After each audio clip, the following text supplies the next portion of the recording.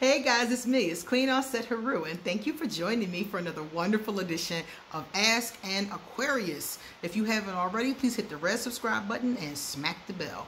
Also, if you like this video, please give it a thumbs up, pass it on to somebody else who might like it too, and drop us a positive comment in the comment section. And if you have time, please stick around because I have two really cool uh, comments from previous videos that I would love to share with you.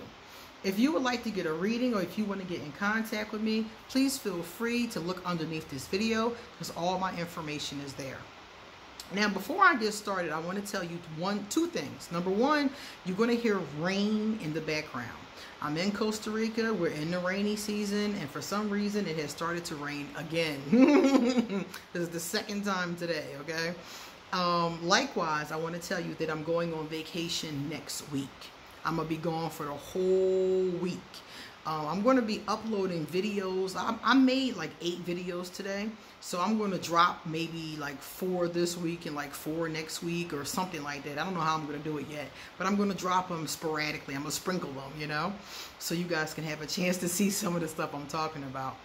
Um, so I'm going on vacation and I'll be back um, I think I'm I'm on vacation all next week from Monday until the next Monday. So that means that I'll be recording probably on Monday or Tuesday. So you'll get new videos around that time. So I just wanted to tell you guys so you won't be like, what's going on with Queen, you know? But um, I don't know, you know, I didn't go on any vacations. This, this is really just a staycation, really. But because of the virus that will not be named, none of us could go anywhere. So I didn't go anywhere and I didn't do anything.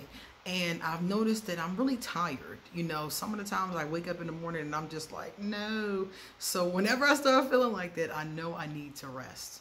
Also, I don't know what you how much you guys know about spiritual paths but if you're on a spiritual path to be a shaman or a medicine woman or a priestess or a priest or anything along those lines you go through times of ascension. It's just like um, getting a promotion at work you know, you go through times when your vibration ascends, it gets higher. You go through a certain amount of time of working on something and it gets higher. So lately, I've been working on my next phase of ascension.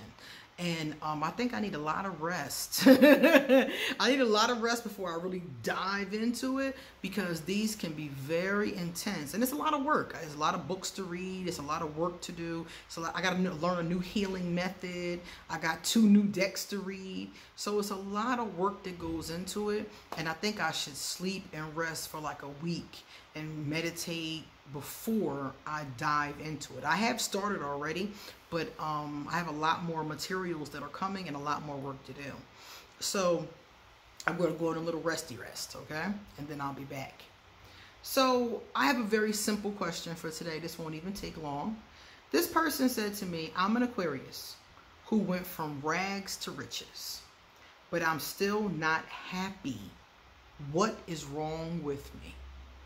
Now, when he said rags to riches, I asked him what did he mean by that. He told me that as a child, he grew up in a drug house, literally a drug house. Um, his mother um, was prostituting. And this is what he thinks. Of course, it wasn't verified, but he thinks his mother was prostituting and selling drugs. And they were living in this, what we used to call back in the day, a crack house and it was a house where addicts would go to do drugs in peace basically and buy them a lot of times they would buy them there they would do them there and then they would go back to wherever they were going to um, a lot of these houses were usually violence cops always coming, getting busted um, a lot of them don't even have like you they're not even clean um, as a young girl, I came across several of these types of establishments, and I never went in one that was like nice, you know, had nice furniture. You know, they were all kind of, you know, shady, you know. And he grew up in this house, um, basically, until he was like, I think he said a teen, and then he ended up going to live with an honor somebody. Then he got his own place and so forth and so on. So he grew up with nothing, basically. Um, he said that when he became a teenager, he got his first job, and he was telling me how he got his first job. And it was like one of those um, youth jobs in Philadelphia and other big cities. They give the kids these summer jobs, and they're just little jobs that they do, cleaning up or at a youth center or something like that. And they pay them minimum wage, and it's like your first little job. And he said he got his first job, and he came home and he had bought a new pair of Jordans. He'd always wanted a pair of Jordans, and his mother couldn't afford stuff like that. So his stuff was either hand me downs, stolen in some cases, he said, um, stuff like that. And he had bought himself his first brand new pair of Jordans. He spent his whole check on these Jordans. And he told me that um, he went to sleep one night and woke up and somebody stole his Jordans and he said that um, the devastating part about it was he could never prove it, but he was told that his mother stole and sold his Jordans for drugs. So um, I think the mother, he said his mother was selling them and using them and prostituting and a little bit of everything. So this is the kind of environment he grew up in and has a lot of heartbreaking stories of things that went wrong. So he told me that um, he got kicked out or left, a combination of both. He went to go stay with another relative. Um, he ended up, you know, uh, getting into some kind of a youth program and graduating with his GED. And after he got his GED, he did some other program and went to some kind of like college program. Come to find out he was smart, thank God and uh, he went to some kind of college program and ended up continuing and now he's an engineer like an engineer who builds buildings engineer. And he told me you know he's making amazing money. He has a beautiful home. You know he has several cars. He goes on vacations. He has a, a four by four or something like that. And he told me he has all kinds of material things that he always wanted. Those jordans several pairs now and he said that even though he has worked hard and accomplished all these things, that he still finds himself depressed. He says sometimes he finds himself depressed. Sometimes he said that um, he feels like he's that little boy again, sitting in the corner in the crack house. And he asked me why. He's like, you know, I did all this work. I've gotten to this place. I'm highly respected. Nobody even knows about his past. And why am I still depressed at times? Why can I let this go? And I told him, I said, you have to understand something. The economic aspect of your life was only one aspect. There's emotional going on here. There's physical going on here. There's spiritual going on here there's still wounds that haven't been healed. He hasn't even forgiven his mother for that Jordan's incident we talked about. And mind you, his mother died. She OD'd a couple years later, but she OD'd. So he still hasn't forgiven her. And I said to him, becoming successful was only the first step. That's a, a very impressive too, to go through such a story and to become, you know, this engineer. But I told him, you also have to heal the wounds on your heart. So I encouraged him to go to get a good therapist. I always encourage people to get a good therapist because if you get a good therapist, it helps so much. So I encouraged him to get a good therapist. Uh, I encouraged him, I, I told him some self help books, you know, that I've used myself. And I just encouraged him to do the emotional, spiritual work now you got the money now. Now it's time for you to do some yoga. It's time for you to do some meditation. It's time for you to do some healing work. It's time for you to talk to somebody, do some journaling. It's time for you to get that out. It's time for you to do some forgiveness work, some forgiveness meditations and forgiveness exercises. So I think that he thought that once he became famous, or not even famous, once he became successful, because he's not really a famous person, but he's a very successful person. So he thought that once he became successful, it would erase the past. But it won't. It won't erase the hurt. It won't erase the pain. You know, it just takes you to a better place, which is wonderful, but it doesn't erase everything else. Another thing that when you're dealing with Aquarius specifically, Aquarius like things. We do. We like money. We like things. I have a million collections. Y'all know that. I love my toys and my cars and my pocketbooks and my jewelry. I love stuff like that. But Aquarius typically like it and we'll spend it, we'll make it, but we're not like a lot of people who are so impressed by it and constantly pursuing it and things like that. We like money, we like luxury, we like nice things. We're not stupid, but we don't really seek it the way that a lot of people do. Um, a lot of Aquarius I know that have money, like I know some Aquarius who are married or they have like an inheritance or something like that. Aquarius that don't have to worry about their financial, you know, needs don't care about it at all. Like some of them just like you know, like they like, I don't even care about that. We're not a materialistic sign. Aquarius is more of a spiritual sign, more of a mental sign. You know, we like to to learn things and have experiences and stuff like that. And money does create the environments for these things to happen, but it's not the end all and be all for us. That's why a person, like in his case, has made all this money and still isn't happy. Money will never buy you happiness. Money is a tool.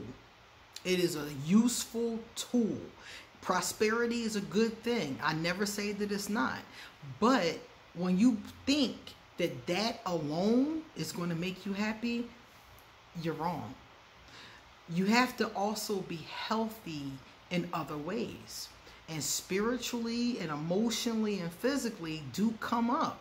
If imagine if you're a rich person, but you get into an accident and you're paralyzed from the neck down. Well, you got all the money in the world, but you're paralyzed from the neck down. So just that, and it doesn't have to be something I've seen people paralyzed from the neck down do amazing things. But what I'm saying is, is that just having the money isn't enough. The health, emotional, mental, spiritual, physical health is important too. And what it feels like to me is that he's physically healthy, financially overly healthy, but spiritually, mentally, and emotionally still scarred. So I feel like he needs to work on that. He also said that it's keeping him from having relationships. He talked to me about being non committal, which is very Aquarius once again. And I asked him, I said, what would happen if you made a commitment? And he told me, I don't know. All of this time, he's never made a commitment to anything or anyone but himself. So that's something else, another scar from his childhood that money cannot erase. In this case, money can buy you a good therapist. money can buy you some spiritual lessons. Money can buy those kind of things. But you still have to do the work to get healthy. You have to use the tools. Money is just the tool to buy the tools. Now you got to use them. So I'm proud of him. I was so happy to hear his story. And hopefully, in the months to come, he'll have more good news for me about his emotional health. So that's what's going on. But I'm going to tell you, as an Aquarius, finances and materialism is never going to be enough. I don't care how much money you make, it's never going to be enough. Miss W has the first comment. Miss W said, This was such a nice review. Practical Magic is one of my favorite movies. I love the magical, ethereal vibes of it, and the story was beautiful. Question though, what do you think about the love spell Sally did? I can't say I wasn't tempted to do one after seeing her try. Um, for those of you who didn't notice, I have some movie reviews. I reviewed a bunch of movies about witches and witchcraft. Um, they're called the Witch Trials. They're on my channel, and if you want to take a look at them, I reviewed a bunch of different movies: Practical Magic, The Witches of Eastwick. Um, I did the last one I did was um, Sabrina, the whole series, Sabrina the Witch. So if you want to check those out, you can take a look at them. I talked a lot about basically is the movie realistic? Is basically, and I pointed out which parts are and aren't. Now, the love spell that Sally did um, is, is a basic love spell. I mean, it is it's a beautiful spell, but it's a basic love spell. The problem with Sally's spell is that it was extremely specific. She asked for a man with one blue eye and one green eye. Uh, she asked for um, a man whose symbol is the star. Um, she asked for a lot of different things, and it was very specific. When asking for a love and a love, a lover and a love spell, a love spell is fine, but I would never do one that was that specific unless, of course, I had somebody in mind. Me personally, when it comes to love spells, I try to leave them more general. If I was going to do a love spell for myself, I would ask for qualities that I wanted the person to have versus physical things. Like instead of asking for one blue eye and one green eye, I would ask for someone who is loyal, someone who is honest, someone who is single, really single and not in entanglements, you know? I would ask for those kind of things. I wouldn't ask for specific physical things. And his, uh, I think she said his symbol should be the star. Mm, I might have said something like, you know, someone who is just. You know, I would say words like that. And the reason why I said that is because when you're casting a spell, you can be as specific as you want to be with it, but you give it a better chance at becoming by allowing the universe to have some leeway in what you're asking for. So I ask for exactly what I want. If there's something that you want exactly, yeah, I would ask for that. But I wouldn't ask for everything you know exactly. Like what's what's most important to you? Like you want somebody that's gainfully employed. Um, i want to be with a woman specifically a woman. So if i wrote a spell i wouldn't say bring me someone. I would say bring me a woman. And then i would give attributes that i wanted her to have. Gainfully employed honest you know that kind of thing the more open you allow it to be, the easier it is for the universe to give you the the fruits of your spell. So Sally's spell was a beautiful one, but I don't think it was really a realistic one. And the chances that she would have met him in real life are really not that high. Um, but Sally was a very powerful witch, so I do definitely give that to her. But yeah, that's more um, Hollywood than anything else. Cat. The next one comes from Cat. Hello, Cat. Cat says, I love your energy. Thank you, Cat. Thank you so much. I love your comment. All right, guys, it's time for me to get going. So I am going to upload these videos, and I hope that you enjoy them. See you later. Don't forget, I'll be on vacation for a little bit of time. I'm going to tell you right now exactly how much. So you're going to see videos, all eight of these videos, and I'm going to be on vacation until the 17th. So more than likely, I will record on the 17th or the 18th, depending upon what's going on, and then my next group of videos will come out. So you'll have videos again by the 18th or 19th, and um, the ones I'm doing right now, I'm going to sprinkle them so they last as long as possible, okay? All right, guys. Thank you for being here. See you later.